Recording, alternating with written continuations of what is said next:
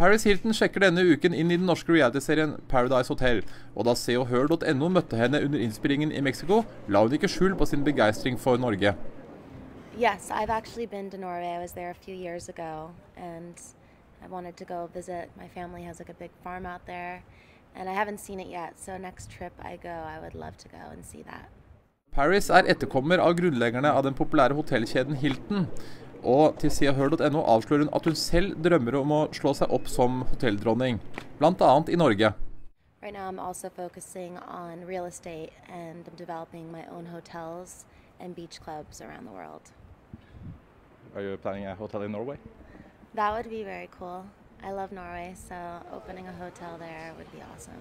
Bortsett fra eventuelt å bygge hotell i Norge, avslører Paris at hun ikke har mange andre drømmer igjen som hun ikke allerede har oppfylt.